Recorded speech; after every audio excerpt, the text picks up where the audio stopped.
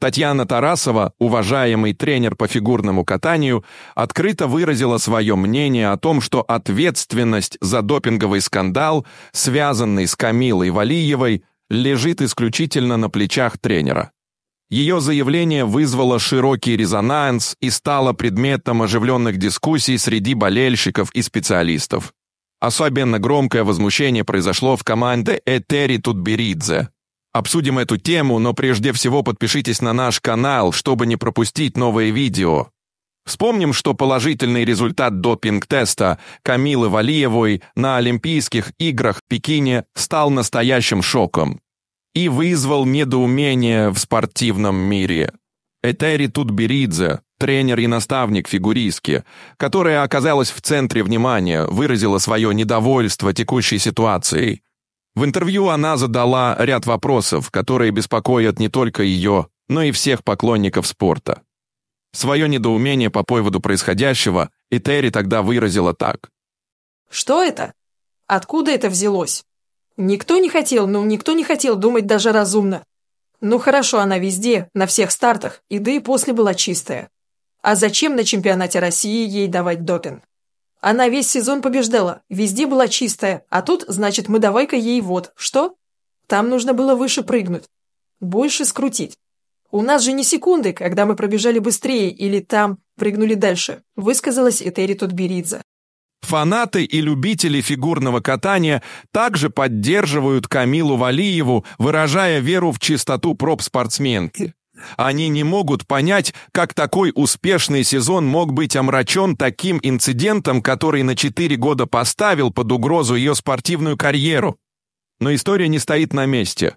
Так недавно Татьяна Тарасова заявила, что ни один спортсмен не возьмет никакую таблетку из рук доктора и не сможет добиться успеха в фигурном катании без тренера. По ее мнению, ответственность за допинговый скандал, связанный с Камилой Валиевой, целиком лежит на тренере. Она, безусловно, имеет в виду Этери Тутберидзе. Тарасова настаивает на том, что спортсмены не могут использовать запрещенные препараты без ведома и одобрения тренера. Она утверждает, что все зависит в основном от тренера. Он за все отвечает. Однако Этери Тутберидзе не соглашается с утверждениями Тарасовой и называет такие обвинения клеветой.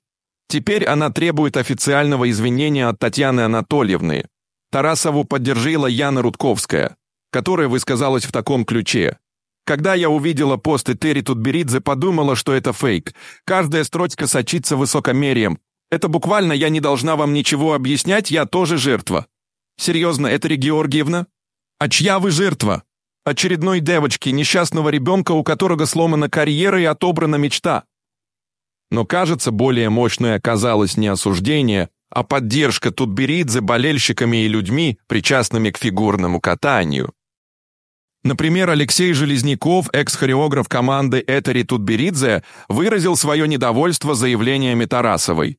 Он не согласен с предположением, что тренеры могут давать спортсменам запрещенные препараты, особенно учитывая строгий контроль над этими атлетами. Он высказался следующим образом. Как же можно так рассуждать, не имея никаких доказательств? Все девочки тут Беридзе всегда были чист. Где логика? Давать спортсмену такого уровня какие-то таблетки, заведомо зная, под каким пристальным вниманием эти спортсмены находятся. Я в корне не согласен с такими заявлениями. В свою очередь, Ирина Роднина, трехкратная олимпийская чемпионка по фигурному катанию и нынешний депутат Госдумы, также высказалась о громких заявлениях Татьяны Тарасовой, в которых обвиняла тренеров Камилы Валиевой в допинговом скандале на Олимпиаде в Пекине. Близко к тексту ее слова звучали так. «Я не была свидетелем всех событий и не собираюсь комментировать все, что говорит Тарасова. Поскольку Валиева несовершеннолетняя, этот вопрос решают тренер, врач и родители. Это те люди, которые отвечают за происходящее. Если учесть законодательство, у нас есть закон, принятый в 2016 году, в котором четко указано, кто несет ответственность и какую, от штрафов до уголовной ответственности. Не нужно обвинять тренера. Сначала докажите, потом обвиняйте. В таком ключе прокомментировала Ирина Роднина слова Тарасовой. Друзья, а на чьей стороне вы? Оставьте свое мнение в комментариях. Всем пока!